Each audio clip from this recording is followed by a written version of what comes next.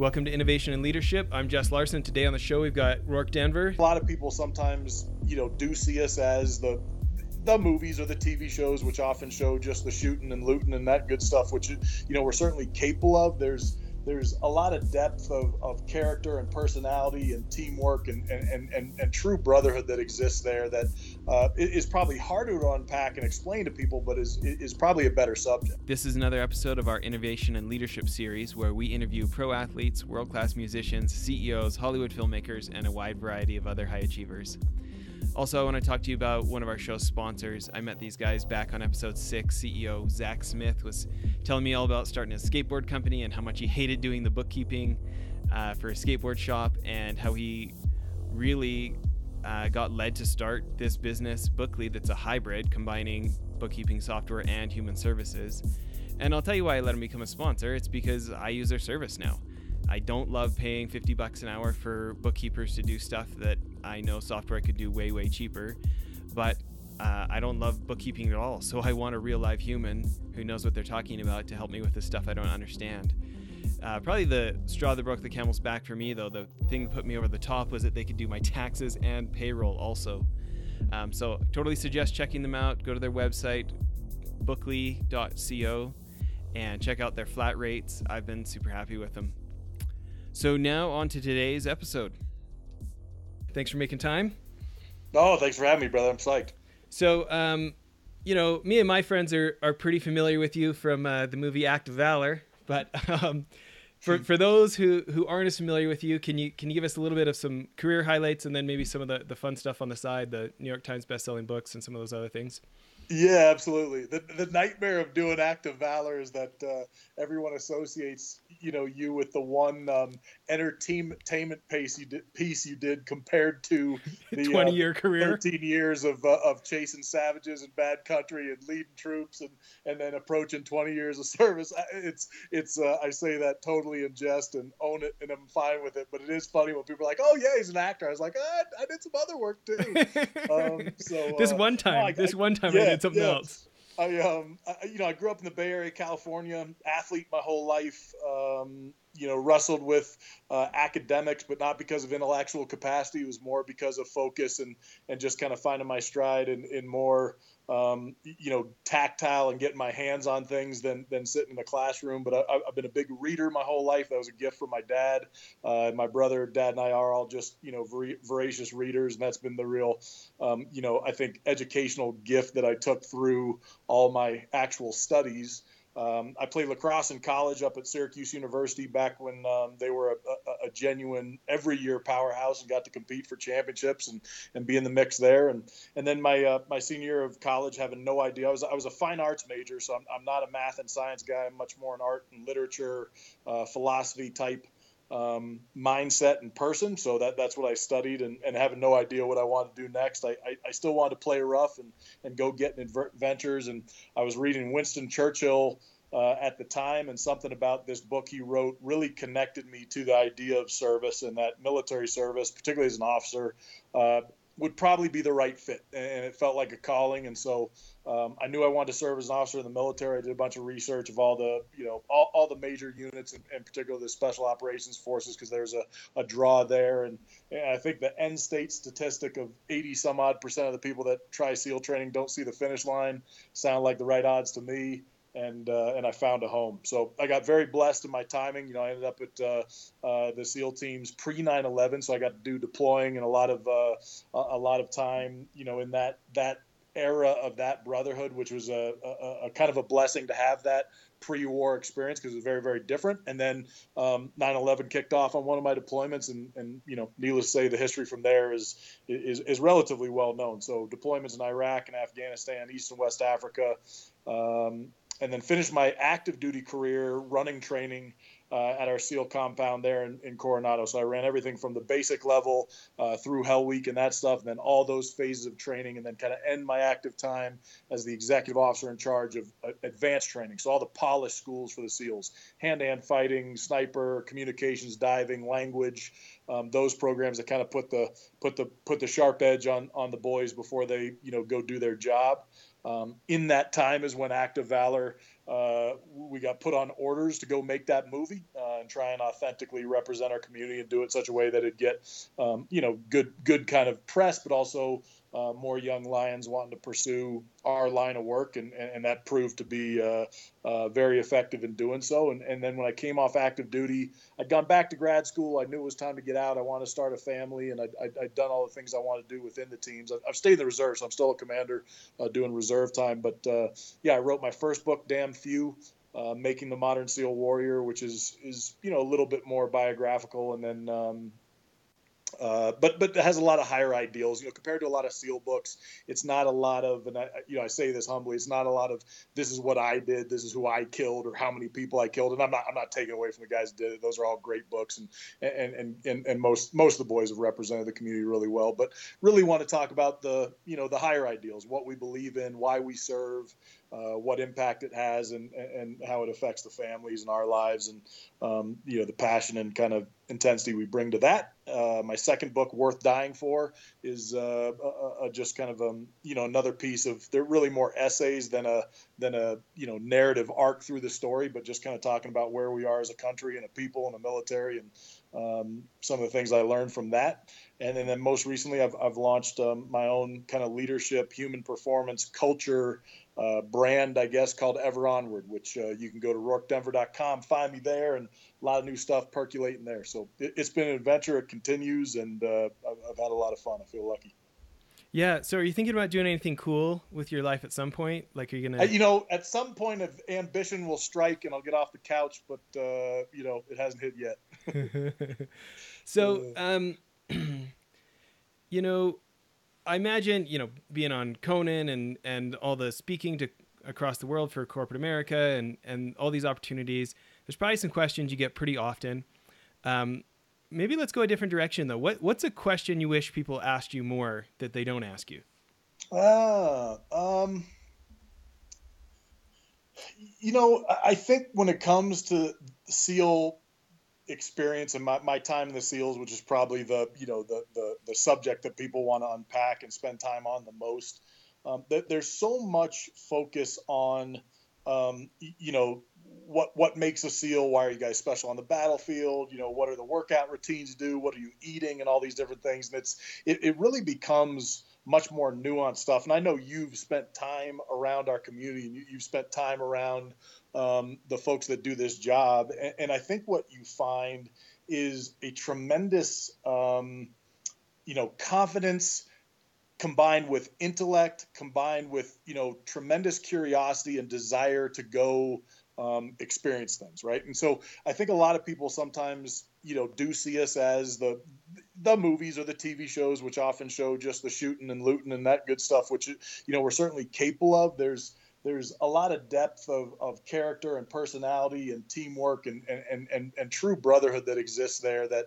uh, is probably harder to unpack and explain to people, but is, is probably a better subject. You know, I mean, I think um, culture is such a huge kind of brand topic right now, and I'm kind of working on some more culture based um, speaking and talking and, and, digging into that because if you ask me what makes the SEALs, you know, capable on the battlefield or, or some of the best operators in the world, it, it, really is the culture. I mean, I can frankly, we can teach an orangutan to shoot effectively. That that's those are those are X's and O's, and we know how to train people to do that.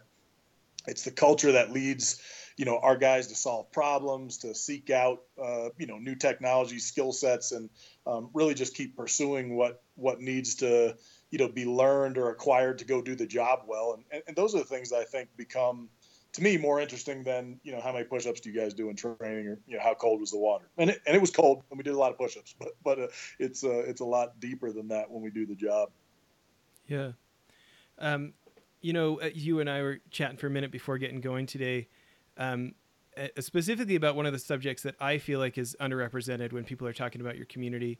And um it's this idea of of selflessness. Like uh, you certainly have reputations as being hard chargers and and uh, willing to deal with uncertainty, but um, what I feel like gets underemphasized is this this concept of um, there's something bigger than me, and not just like cliche patriotism or something. Sure, uh, sure. Of, of like the stuff that rolls off the tongue, but like the the like I don't know how to make it not sound cliche, but the like the genuineness of like, you know, these guys aren't just willing to give their life to save each other's life. They're willing to give their life so that my family can keep having the lifestyle my family has, and they don't even know me. Um, can you can you talk about how that gets baked into the osmosis of of your world? Yeah, it's. I mean, you, you're you're hitting on the head that there's um, that it's that it's real, that it's authentic, and, and the idea of service. Um, you, you know, everyone that serves has really decided to take a special step and, and put themselves in a special category of, of, of citizen and, and, frankly of human being. Um, I think the folks that gravitate towards our community uh, live at the far fringe and extreme of that just because of the, the, the inherent nature of the job we're going to go do. Our, our, teams are not designed um, to go run medical outreach programs or build bridges and, and, and um, you know, help with infrastructure and things like that. We're, we're there to hunt evil and to go meet evil uh, in their den and, in their grounds and, and, and keep them there and keep them at bay so we don't experience it here at home. Um, I think the thing that you've seen and that, that I agree is is also the case is is there's there's just a lot of different layers to that. Like if you if you if you go to um, you know slice into that concept, it, it's layered. So you have this you know overarching desire um, that probably lives in a very personal and in some ways this will be counter to what we're going to get to, but in some ways a selfish um, experience. In that you know, I want to be a SEAL. It takes a tre- tre- tremendous amount to get through the program and commitment and focus and drive and resilience to become a SEAL. And there's a there's a large part of that, even though you want to serve, that that is selfish. You want to be a SEAL. You want to join that team, and and and um, you're willing to to sacrifice what it takes to get there. Um, and then when you get into it, these other things grow, and, and, and usually it's a desire to serve and, and, a very honorable thing to go do that. Um, and I and I hope I'm highlighting that well. But it's like there's this personal desire that we all have, I think, to perform at the highest level and be member of of, of one of the true top teams. And so that that that's probably internal. And, and then you have all these external forces that that become your master. You have the master of the U.S. military and, and how you're going to behave, dress, act, perform, and execute your duties. You have the senior political leadership of the country um, and the civilian leadership that's going to guide uh, the energies of those, um, you, know, those requests and what, what's going to be called upon to go do and, and to give you the green light to go do the job. Uh, you have your family, or you, you obviously feel very passionate about and, and, and want to make sure they're safe and and and in this strange way, this this tremendous equal balance of of knowing that the family that lives next to me, to the right of me, and in every town USA, is also every bit as important. And that that you know, there's only a few of us that are willing to raise our hands and say, you know, send me. I'll, I'll go into harm's way and I'll take the hit. I'll, I'll I'll you know even go to the ultimate sacrifice to make sure we enjoy what we enjoy here and and so the layers of that service is is very very special, and, and I think it takes you know just takes a lot of humility I think to do that and do that well, and it, and it's it's almost always authentic. I mean, you again you've been around our our our troops and, and our folks, and there is an absolutely staggering amount of authentic humility for some very very talented people that probably um, you know wouldn't be begrudged if they were beating their chest and, and screaming from the mountaintops. And it's just not it's not something our folks do. We got you know one or two folks every every generation that probably uh, uh, has the you know arrogance gets the best of them but it's rare. It's a, it's a rare guy in our community that that is arrogant and not humble and not um, you know a quiet professional. I think you know writing the books and the movies and the tv shows i think have clouded that a little bit. I think a lot of people have done it the right way. There's a few people that haven't done it the wrong way. My, my take on that when people ask me about they're like well you know you're, you're the quiet professionals but you guys are writing books and doing movies and you know that runs counter that. There's no way it sounds you know uh, like it's it's hypocrisy to to do those things. And my only the only thing I maintain, I'm careful not to throw rocks in a in a glass house, but is that if we circle the wagons and we don't share what we've learned, if we don't talk about these things we've seen around the world in a more you know kind of intense, naked, stripped down, you know, almost visceral way, well then we've we've done in my mind the, the country a, a disservice, the leadership a disservice because all the professional knowledge we gain in these worst places on the pulse will just die. And then, then you have people making decisions uh, from thousands of miles away uh, on policy and what we're going to do as a people without all the information. So that, that, that's, I think, if we can share what we do, what we believe in, who we are, what we've seen, and do it in the right way, then then hopefully we're given a gift of that information for people, you know, better than us to make good decisions off. Our sponsor for this episode of Innovation and Leadership is Skillshare. If you're not familiar with them, they're an online learning platform with over 18,000 classes on business and marketing and entrepreneurship and technology and, and lots of other classes too, illustration, other things I'm interested in. Um, they've given us a special offer where, for the listeners of our show, you can get two months for just 99 cents, where you can see all these 18,000 classes, unlimited access. It's uh, Skillshare.com/leader.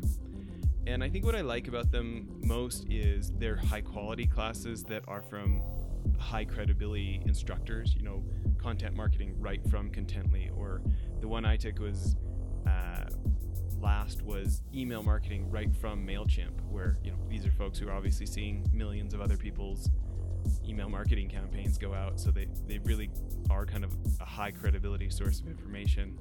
So again, it's Skillshare.com slash leader 99 cents for com- complete access to all their courses for the next two months. Uh, one last time, Skillshare.com slash L-E-A-D-E-R. Thanks.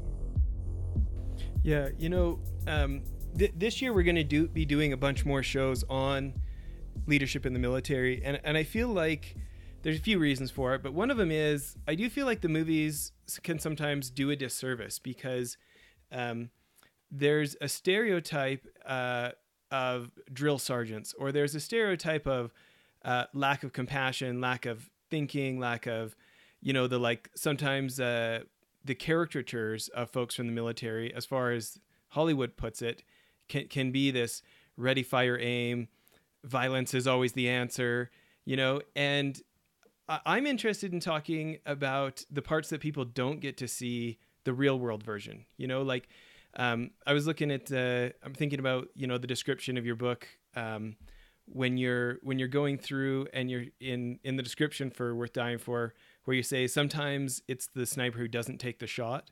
It's not always the guy who jumps on the grenade. Can you talk about restraint? Can you talk about um, doing the right thing when it's not running towards gunfire?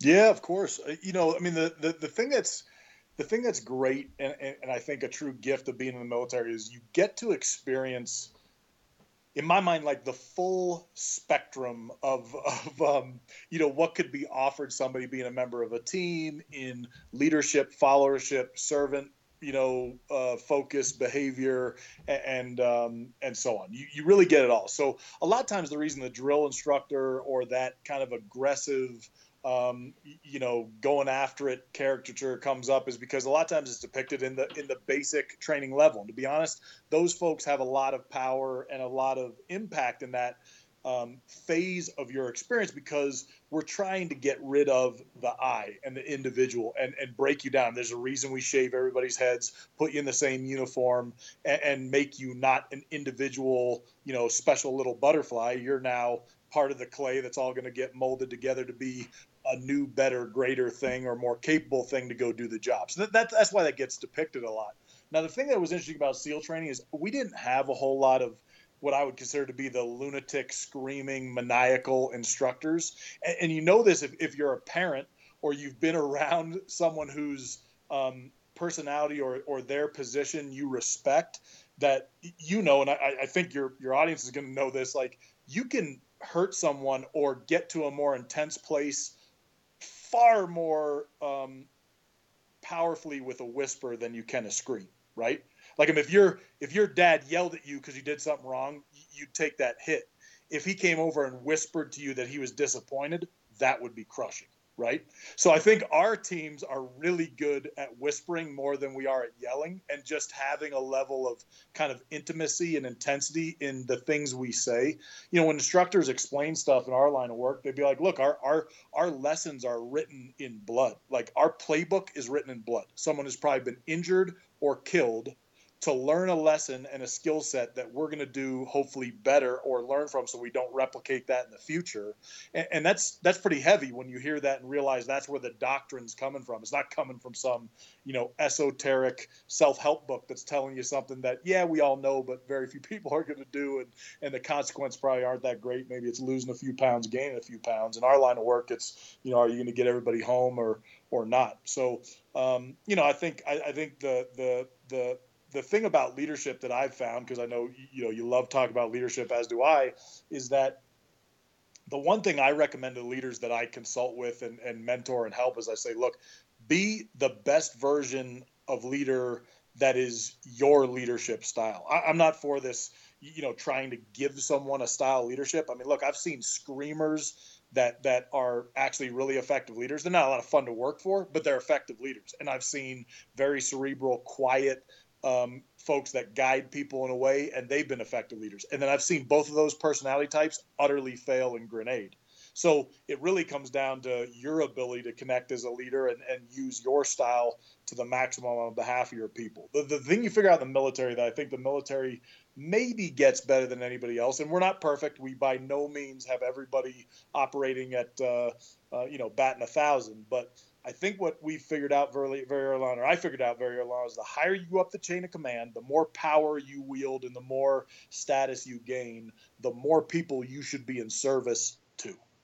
And, and I don't think there's a lot of corporate world that, that gets that as much. Seems like the further you go out in that C-suite office, the more you've now achieved, your paycheck goes up, and you you kind of can wield power. For us, the paycheck's so small anyway, it doesn't really matter. So now it's like, okay, to be effective as a, as a senior person, the best of them are the ones that take care of their troops, that take care of their people. Yeah, and I know we're we're getting closer on the ending of, of part one of the interview here, but maybe this is a, a good subject to to discuss for the last couple of minutes of it. Um, can you talk about as a leader that temptation to, um, or just any thoughts you have on you know, when you do when you do rise up in position, the the natural human dynamics of any group of people is you start to get treated different, right? Yeah. And so I just think about myself. I was a pretty young guy. I was 28 when I became the CEO of my own private equity fund, and wow. yep. I I had some I had some maybe some insecurities that I really wanted people to think I was a big deal, you know, and yep. and so I think if you, there's any of that temptation when people do treat you different, um, and they, you know, the meeting doesn't start till you get there, and just, you know, life life is different when you're in charge. For and, sure. And um, if you have any desire at all to feel special, there's all sorts of evidence to let you know you are. Yeah. yeah. Um, uh, is there anything that you tell yourself, or is there a mentor you've had, or somebody you look up to that that maybe gave you some advice on um, on how to recognize like the privilege of rank is the privilege to serve. Yeah, it's. I mean, it's it, it's a it's a vital part of effective leaders, and obviously, you know, kind of one of those foundational building blocks to figure this out early in career. The beauty about being in the SEAL teams is we have somehow managed to figure out a way within that that culture, and, and this is another one of those great culture kind of focused concepts, is to keep a tremendous um, level of kind of almost like Viking honesty within each other to kind of keep people in check. The, the, the, if you put a senior SEAL admiral, so let's say like a two or three star admiral up to a four star admiral, and you got a very very you know, junior officer, or, or better yet, somebody that maybe they went through training with much earlier in their career um, that's still junior. And a lot of times you'll see this in guys that have gotten out and maybe come back in. So let's say you have these huge disparity in rank, right? You got a four star admiral, but you got a guy that maybe went through BUD/S, basic training with that admiral, was in his boat crew, and he was just a brand new officer. And then maybe he got out for 15 years, did something else, and now has come back in to serve because he loves it. So he's a, you know, he's not even a chief petty officer if they run into each other, I mean, that young guy will often be like, "Oh, that's just Bill," you know, and then everybody in the room will be like, "You know, that is Admiral Bill to you," and then he'll be like, "Nah, that's just Bill. I saw him screw it up at, at, at you know this evolution, that evolution." Something about our community wears that well. I mean, usually the guy would know I'm not going to do that if we're you know, in front of a bunch of sister services. I'm not going to do that if he's in a formal event and kind of dress him down. And that's not what I mean. But we have this level of kind of um, keeping each other in check that I, I think is unique amongst many organizations. And I, I think what it does is it keeps senior folks, officer and enlisted, you know, sort of in check and sort of on the pulse of the the young folks coming in and keeps them connected, um, so that you don't go so disassociated and disconnected from um, you know what the boys are experiencing on the battlefield or in basic training or trying to get the gear they need to do their job compared to you living in the ivory tower somebody bringing you coffee the way you want it making sure your uniforms are pressed and getting you to the next meeting on time we're really good about that and that, that's i think if you could if you could create that in other cultures um, you, would knock people down a couple rungs in a, in a healthy way if that makes sense yeah you know i'm you know we're all humans. We all do good on that kind of stuff sometimes, and we mess it up sometimes. Um, just being human. I'm interested if there's any specifics of like, um, you know, over you know 19 years uh, serving your country, the times when it's gotten away from you. What what does your look in the mirror look like, or what what's do you have any phrase you tell yourself? Do you have anything to like? How do you have your own kind of canary in the coal mine of man like Rorke, reel it in, you know? Yeah. Yeah, I think I think when well when I find myself, I love to talk. So I mean, from time to time, I can find myself getting long-winded when I'm talking to young folks and you know giving them guidance or advice or my thoughts on things. And I, I, try, try and sometimes cut myself off because I feel like I can keep going. I, I, try and always keep that that what I said earlier that that the higher I go up the chain of command, that means the more people I have an opportunity to take care of. It gives me more position to create a good situation for those at the bottom of the ladder as opposed to what I can do for myself at the top of the ladder or wherever I where I'm sitting. I mean, by no means am I at the top of the ladder, uh, nor will I probably ever be in, in, in certainly in the military side. Um, I don't have any mnemonics or I think devices that I'm using every day to kind of make sure I'm there. I mean, the fact of the matter is, I've enjoyed it. My personality type likes having command. I like having the ball when the game's on the line. But what I've realized early on is do that by having the best people around you. And look, if I, I would say the, the best thing I can do as a senior officer is get an assist, right? Like instead of scoring the goal, can I can I put a nice pass over to a younger guy, another gal that's working in another operation or, or a unit to let them, you know, get the goal. So if I could assist more than I could get the final goal, um, that'd be a definite win for me. Yeah. What about the rest of us who who are tempted to want to get the goal? And any advice for us on how to conquer ourselves and and recognize the long term benefit for this organization is me bringing more people up by doing the assist rather than scoring the goal myself? Yeah, I mean, I think that's you know that's one of the blessings of being an athlete is is, is I'm talking about that you know almost as a uh, as an example, but I, I, also played sports enough to know it's real. I mean, I think I think you need to be able to do both, right? I mean, there's a time when it's like, look, you you have the ball, there's an open shot, take the shot, so so you're going to get the goal. Mm-hmm. There's a bunch of people that just aren't willing to shoot, right? So so I, would say for those coming up, or those that want to be in the position to, to score and get to those those top spots, don't be willing to take a shot, or, or be willing to take a shot. You know, I mean, that's my dad. I remember had a great line. Uh, he was at a basketball game with one of his good buddies his good buddy's son is playing basketball. Small time, but D1 basketball. So good basketball. And they're up watching a game. They're kind of high in the stands watching. And this, this, my dad's buddy's son got in the game and was young. I mean, it was like kind of an early time. He wasn't a starter yet but he somehow finds himself loose and open on the baseline. This is hoops. He gets a pass over to him. The defender is coming out, but hasn't closed the distance yet. He kind of does the little, you know, he, he goes to shoot and then thinks about it for a second, goes to shoot again, then thinks for a second, and then he's kind of caught. And I guess the dad, the dad in the stands next to my dad is like, shoot it or don't shoot it, but don't f around with it. But he used the full word, and it's like that's really what it is all about in this life, right? Like either do or don't do, but don't like screw around with it. You know, it's it's good to take a shot. If you miss, you miss. If you don't take a shot, you don't even have a shot of being in the game. You know, so uh, I like people that are willing to shoot. I like people that are willing to shoot. Yeah, and what about that that balance beam of the like, hey, recognize when it's my team to lead from when it's my turn to lead from in front, to be decisive, and when I do recognize ah, it's probably I, I would like the adulation of being the one to take the shot, but the right thing for the team is to give the assist. And any advice yeah. for the rest of us of like, do what you think you should do instead of what you feel like doing?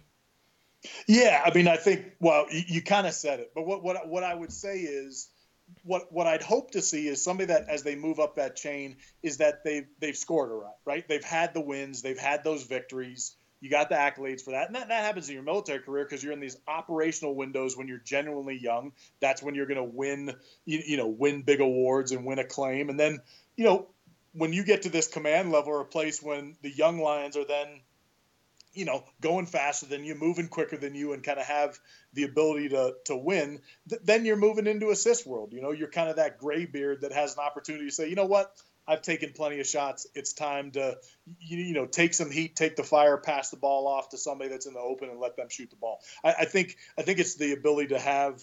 Um, you know the thick skin that you develop through the fighting years to say okay now i've got rhino or dragon skin i can take the heat um, so if the things go well with my team, I can give all that credit away. I can let my team know that they won the day. If things go south, I can take all the blame, even if I didn't screw it up. Hey, if you're if you're signing the check, if it went wrong, you screwed it up, whether you did or not. So you know, own that and make sure you got your troops' backs to to move forward. So um, you know, you know, hopefully you develop enough. Um, experience and time, you know, taking those shots and, and, getting some victories stacked up that it doesn't become hard to pass the ball off. And I, am at that point in my career. I'm, I'm, happy to give the ball off to people and, and, uh, you know, I, I still want to, I still want to log a few more goals and some few notches in my gun belt, but I'm, I'm very, very happy um, to make sure my team gets the credit when we do it. I think that's a great place to end part one here. I, I think my favorite thing you just said there is this, this idea to take that ultimate responsibility and own it. I think is what you said. Yeah, I think, yeah, it's yeah. A, I think it's a great place to end. Well, thanks for making time, everybody. Make sure to listen to uh, the, the, second half of the episode. We're going to get more of this wisdom from Rorke. Thanks for thanks for making time again here, Rorke. No, thank you. I appreciate it. Well, that's it for the episode. One other thing I wanted to tell you about, if you remember the guys from Convoy uh, in episodes back, Ken Free and Trent Mano, I went on one of their CEO trips to New York, and I met a guy named Brent Thompson, very successful entrepreneur. He was former CEO of Jive Communications, big uh, company now. I think three or four hundred million dollars. Anyways, he uh, he started a new company called BlipBillboards.com. I'm super stoked they're a sponsor now. But I, I remember a year and some ago when I met him, I thought it was genius. Instead of having to buy six months or a year's worth of billboard um, for thousands of dollars, you can buy eight seconds at a time for like 10 or 20 cents. You pick what billboard you want it on, what time of day you want it to run, and it just puts so much power in the hands of of marketers and CEOs who want to try something and see if it works. You can buy as many or as few as you want, change it as many times as you want. Uh, I think now our podcast is being advertised on billboards in like 18 different states because we have these guys as sponsors. We're pretty excited about it. Hope you check out blipbillboards.com. Thanks.